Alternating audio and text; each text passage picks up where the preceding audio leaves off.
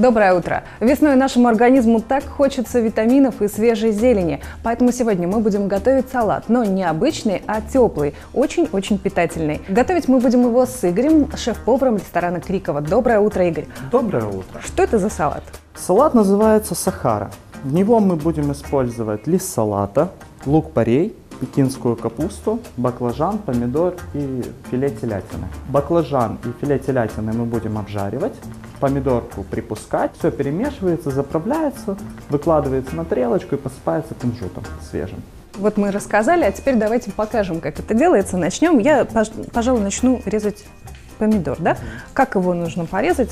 Значит, помидорку мы режем на долечки. То есть пополам? И Напополам вырезаем эту сердцевинку и режем на долечки. Пекиночку мы режем крупными шашками. Называется шашки, да?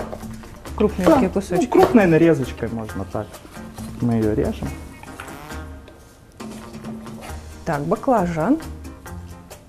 Кружочками? Да, его полукольцами или кольцами, в зависимости от размера. Теплые салаты вообще такие для меня очень необычные салаты, потому что я ими наедаюсь. Это для меня полноценное блюдо. А во все теплые салаты входит мясо, да? Да, во все теплые салаты входит мясо. В основе это филе телятины, филе свиное и филе куриное. Салатик мы рвем сюда крупненько, берем его так складываем и просто нарываем как можно крупнее, чтобы когда мы его заправим, салат быстро не упал. Овощи у нас подготовлены. Овощи подготовлены. Давайте теперь жарить. обжарим. Овощи у нас готовы, мясо пожарено, теперь нам нужно его порезать. Мы немножечко его отбили, да, мясо? Да, мы его отбили перед жаркой, как посолили, его? поперчили. Режем крупненько, режем, берем напополам, режем.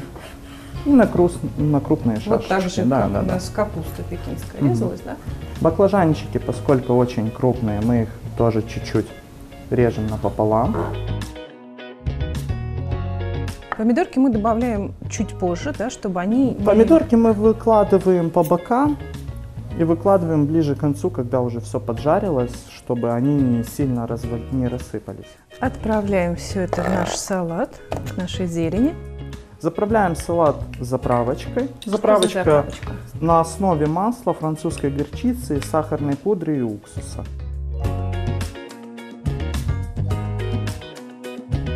И прям руками мы можем да, перемешать. мы его спокойно, так нежненько перемешиваем.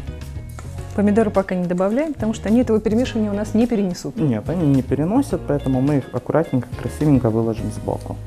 Выкладываем его горочкой на тарелочку.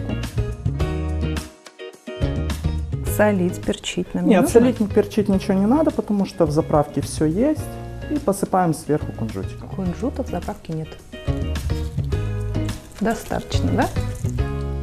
У нас получился замечательный питательный салат со свежей зеленью, которому, я уверена, обрадуется ваш организм, истосковавшийся по витаминам. Ну а для кого-то это станет полноценным э, блюдом. Я, например, теплым салатом наедаюсь. Уверена, что у вас получится приготовить его и порадовать своих близких. Да, пожелаем приятного аппетита.